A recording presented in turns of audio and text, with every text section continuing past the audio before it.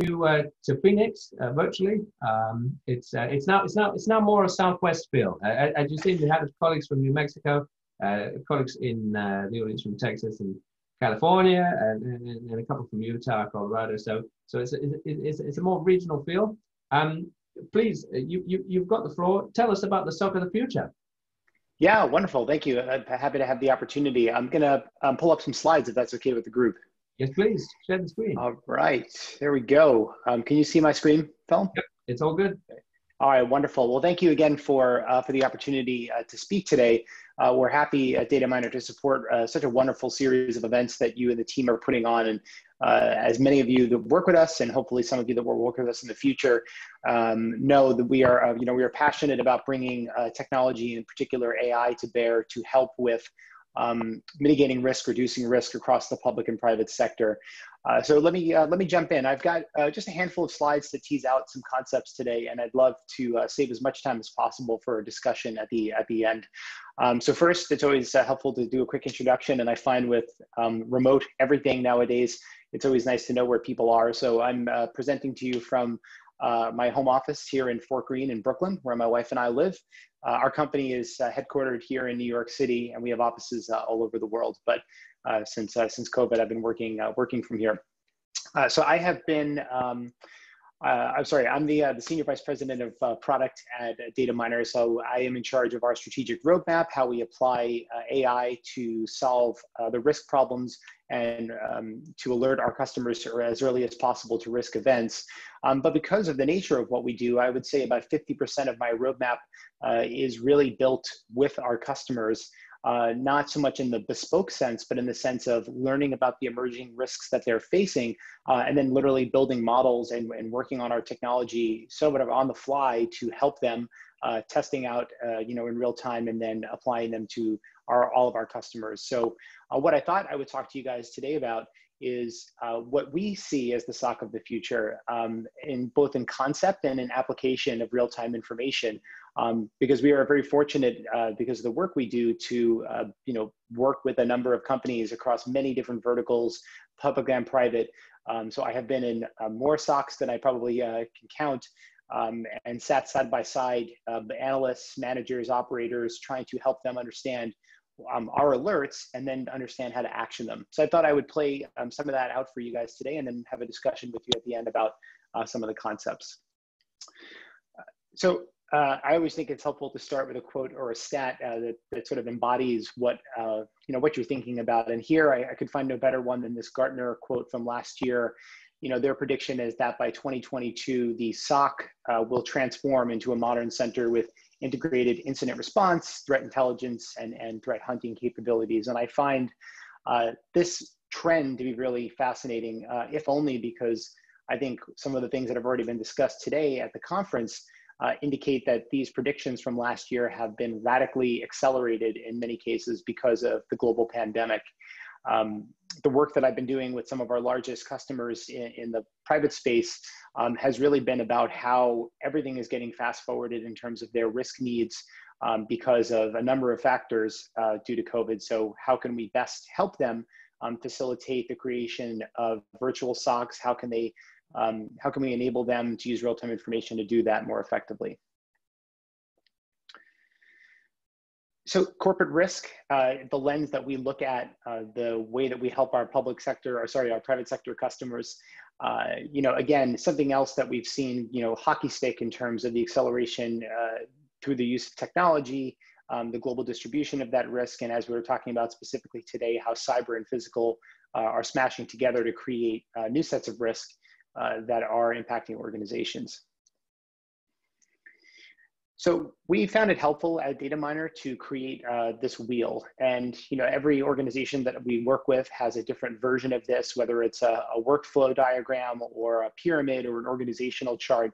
Um, but the way we think about risk in terms of the four big areas that surround and create corporate risk are operational, you know, where we sort of have grown up over the last 10 years helping our customers get the earliest possible warning of kinetic events. Um, we've broadened over the years into business and operational continuity risk, uh, reputational risk, and now cyber. Uh, and we'll talk a bit more about how we do that later on. Um, what we see is that the SOC is really at the center of this wheel. Um, and I know philosophically, everyone is, I would hope, nodding their head.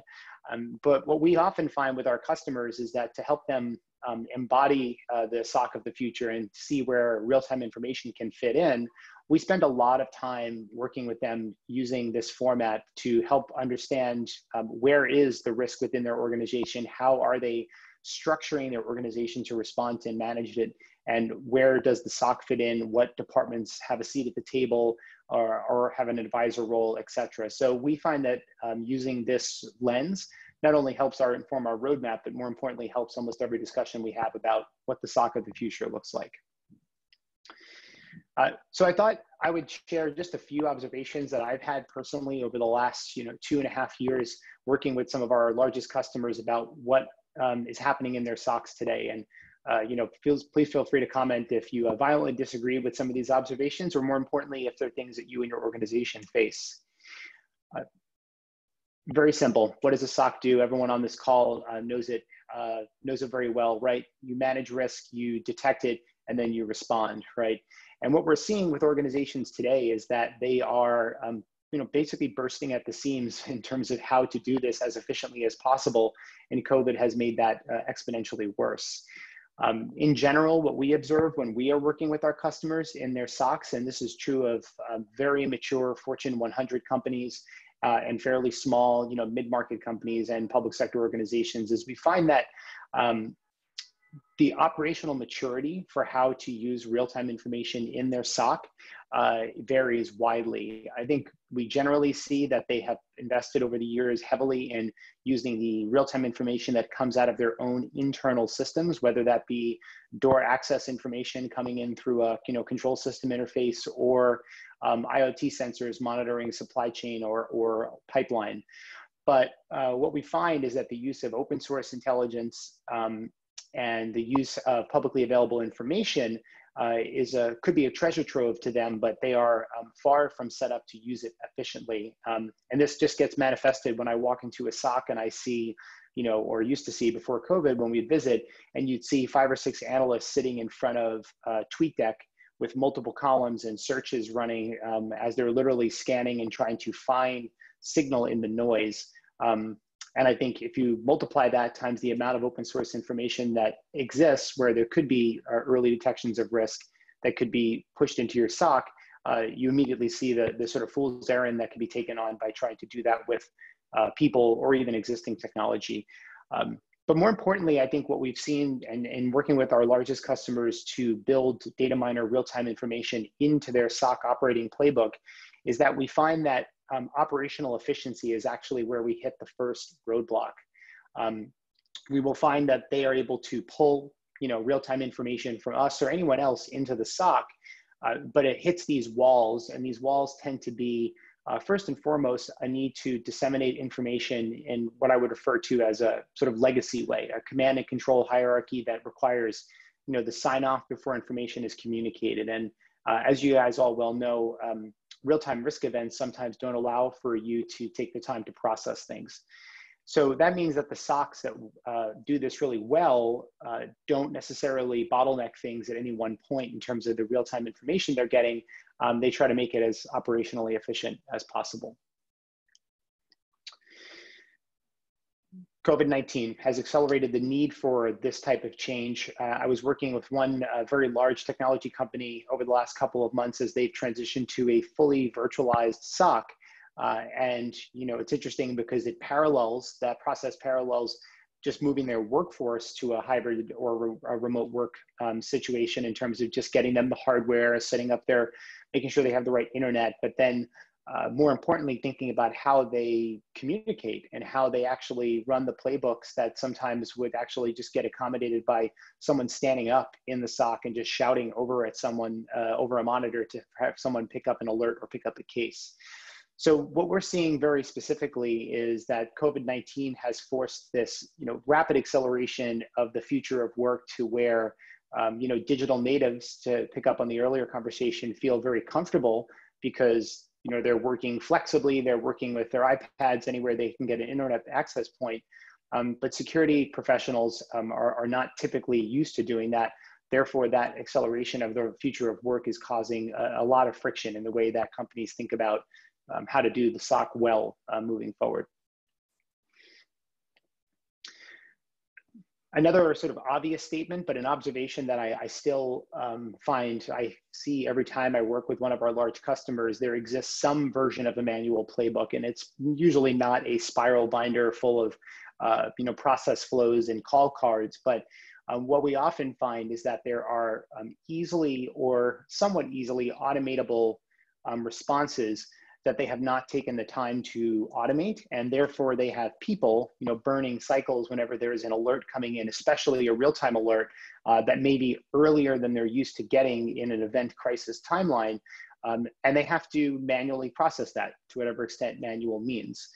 Uh, that takes time. That's expensive. Um, so one of the things that we work with some of our customers on is helping them identify places they can automate the responses to some of our alerts um, so that you can tie together you know basic kinetic events to an automated playbook or automated response using some of your crisis event management tools to literally offset some of that cost so that those alerts um, have a much lower cost impact on your security system and your security operations center i should say um, and you can shift those resources towards the risks that you are not good yet at responding to or the real-time alerts that uh, you haven't yet built playbooks for so what uh, that usually comes down to when you think about that wheel that I showed you is we help customers identify what are the physical threats or the physical risk events that you respond to most frequently. We make sure they're getting the right real-time alerts from our platform. Um, and then we literally will sit down with them and make sure they have the right mapping of the fields on the alerts to their automation workflows in, you know, an Everbridge or um, a system like that uh, to make sure they're automating those critical physical events as much as possible, saving the headroom of their security operations center for, uh, for some of the more uh, advanced or digital threats. So the other thing that I, I, couldn't help but reflect on as I was thinking about what to, to share with you all today about the future of the SOC is the flip side of the process and the technology, which is really about um, the culture and the people. And I think this, again, I go back to the earlier conversations I heard today around, you know, digital natives and how they approach the use of technology as a, as just an employee at one of your companies or organizations. Um, but it's become very clear uh, to us as we work with customers that, you know, COVID has yet again accelerated this, train, this uh, trend of the future of work you've got everyone, whether they like it or not, acting somewhat like a digital native, using you know a mix of company provided and consumer and consumer hardware. Um, you've got everyone accessing secure systems from over their home networks. Um, so what we see within the SOC is that um, the best SOCs that we're working with, the ones that are the most futuristic, if you will, are, are leaning into that. They are embracing, you know, a very, very um, hybrid or remote work, virtual work setup not necessarily calling it a VSOC, just saying that we have to embrace having the analysts um, distributed across a number of their home locations. How do we set up appropriate follow the sun models when people may have gone to different places to sort of camp out during COVID or permanently relocate? Um, so we really think about the culture and we work with some of our the organizations in, um, in our customer base what kind of culture do you have? Do you have one that is set up to embrace real-time information? Do you have the right uh, training, the right um, setup, um, especially given this new future of work. and now automation. I know uh, as, as a product person at an AI company, one of the first statements I always make to our customers is that AI is by no means uh, the answer. It's really about how you apply it. And uh, you know, I see this time and time again with customers who think that we can uh, do things with AI that you know involve, let's just say, prediction versus uh, event detection.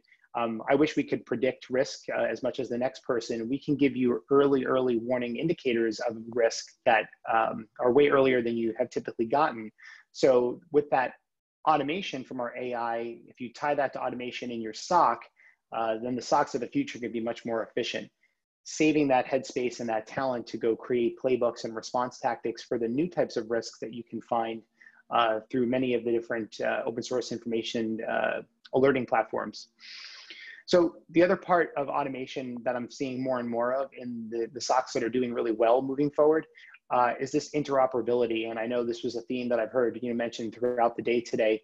Uh, and I love that, you know, work from cloud, that embodiment that you had to take, you had to take a bunch of, you know, uh, equipment running essentially inside your own cloud or your own on-premise uh, install and make that your company's cloud and cloud platform. Uh, interoperability is a true tenant of the cloud, right? Being able to combine best-in-class services that do a number of different things. So the SOC of the future clearly um, has to be interoperable. Uh, you know, I don't see a world where you're running a single cloud vendor solution, and nor I'm sure do any of you, uh, to accomplish all of your crisis and security risk needs, especially as physical and cyber are converging even further. Um, you're having to bring things like the platforms that alert you to, um, you know, doors being propped open, to combine that with the you know the cyber threats that could be levied against uh, you know an infrastructure building or something that is a critical component of your supply chain so you know we are seeing more and more companies this year especially because of covid accelerating the straight up IT push of their SOCs to the cloud and then taking a hard look at the on-prem choices they've made and deciding whether or not they need to move to a cloud native version of that vendor if they need to move to a best-in-class um, cloud-first version of that solution, uh, or if they're going to go with a hybrid and start to tie them together in a more uh, flexible way. So that interoperability is going to be really key.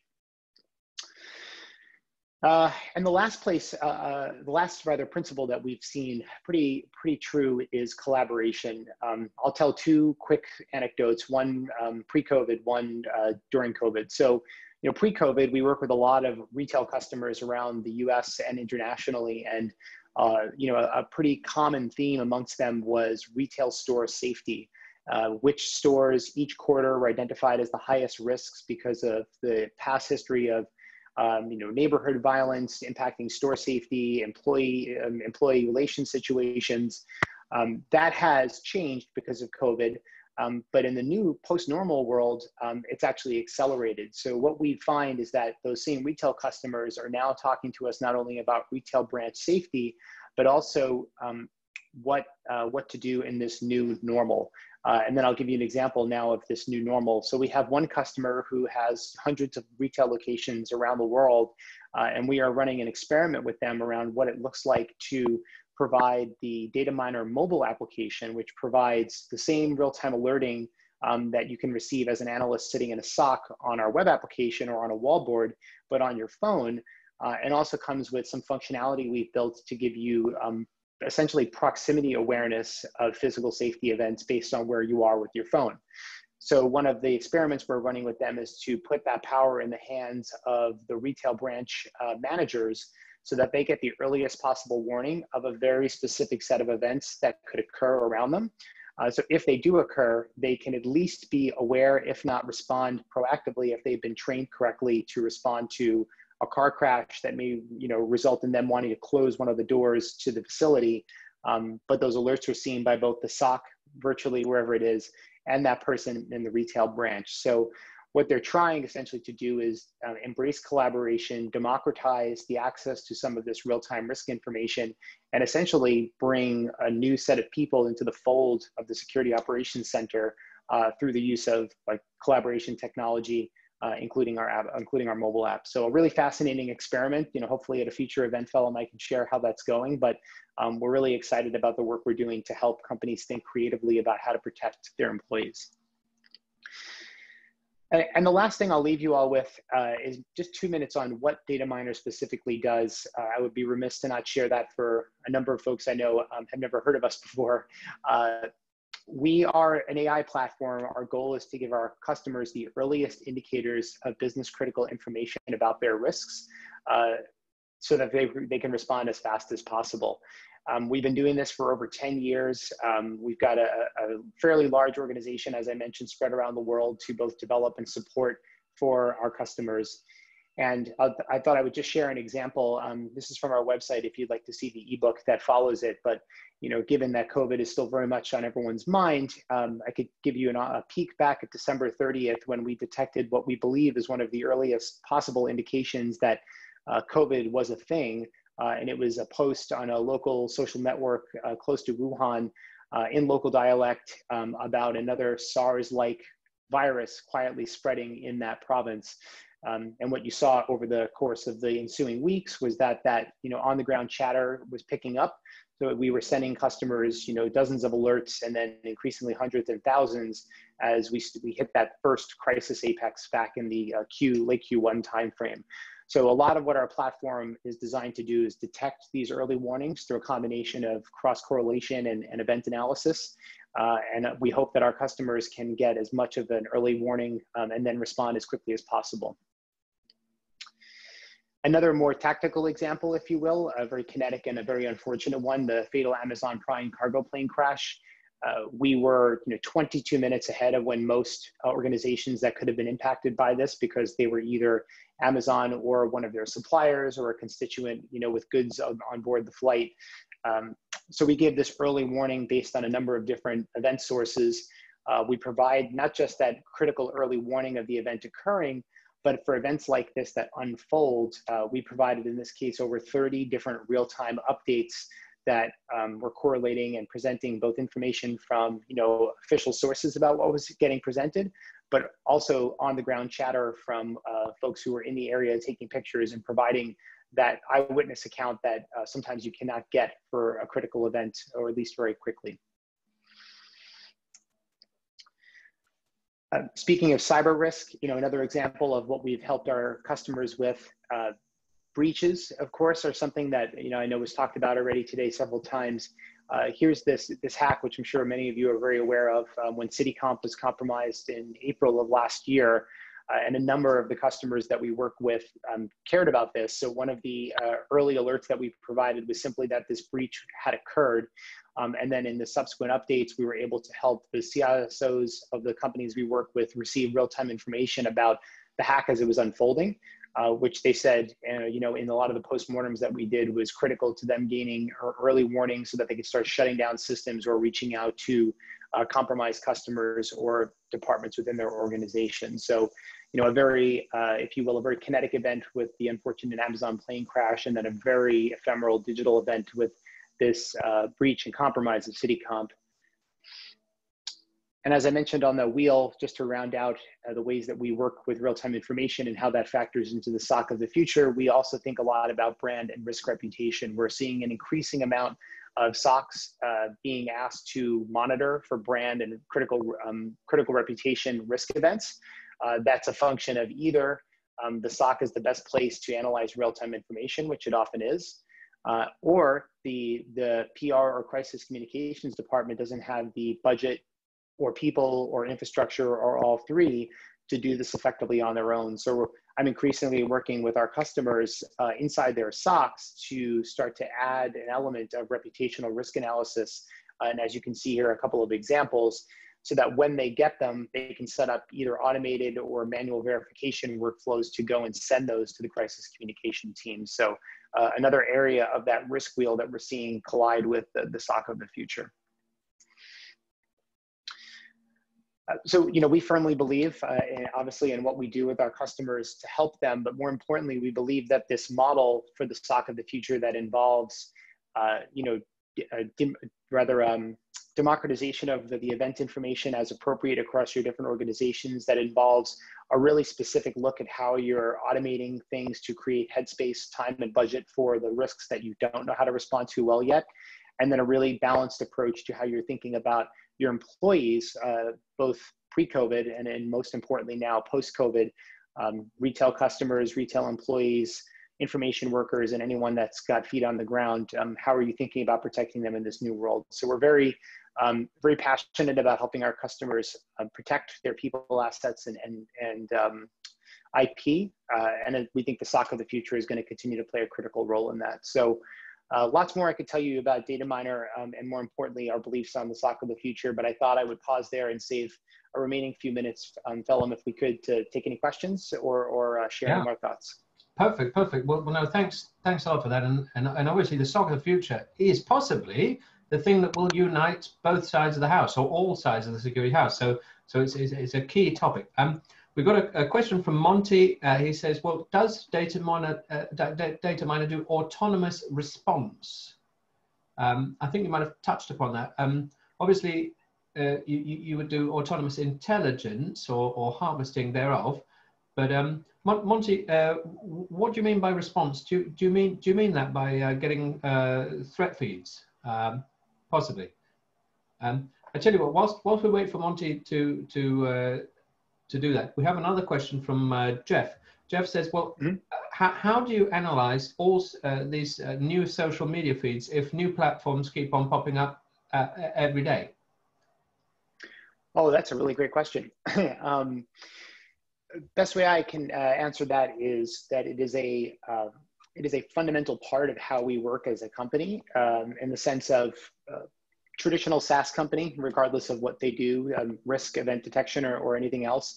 You know, you've got a, a product organization that does strategic roadmaps and, and specifications, and then you've got an engineering team that is focused on building the technology to deliver the value. Uh, what we have is an engineering infrastructure and engineering team uh, that also works with my team to be um, essentially scout, right? So we are constantly evaluating and researching where is the new publicly available information coming from. Uh, and I'll, I'll, give you a very real example.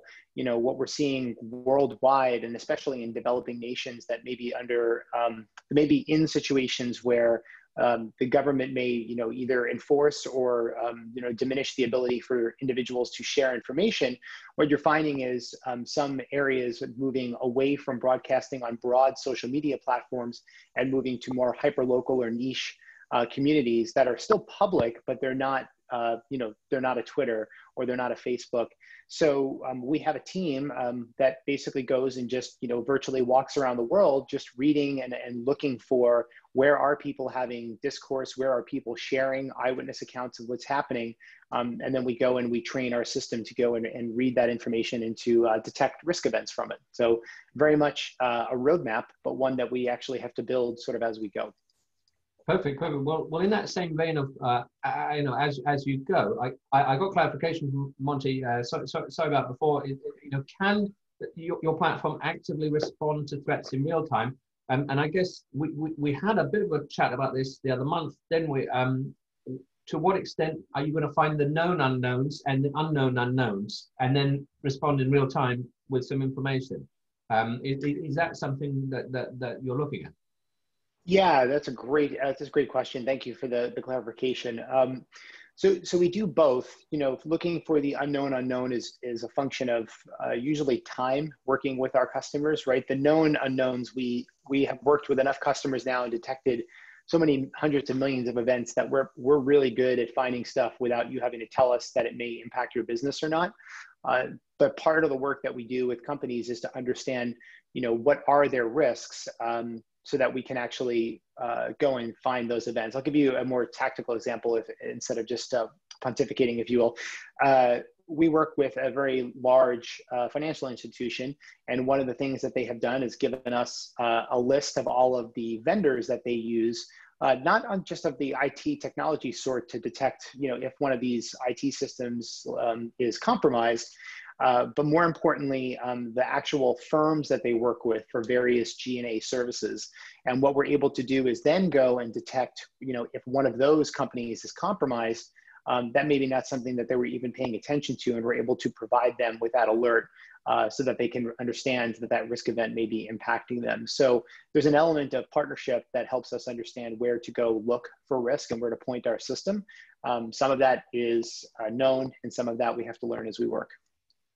Uh, very good. No, I like it. I like it. Um, well, um, we, we, we're sort of out, out, out of time, uh, but uh, but no, this is a fantastic tour de force on uh, the SOC of the future. Um, and uh, you know whether whether you're a physical specialist, EP, uh, CISO, LP, you know it, has got to figure into your planning. So so so this has been great. Thank you, thank you very much, Michael. Um, please give Michael a, a, wonderful virtual round of applause.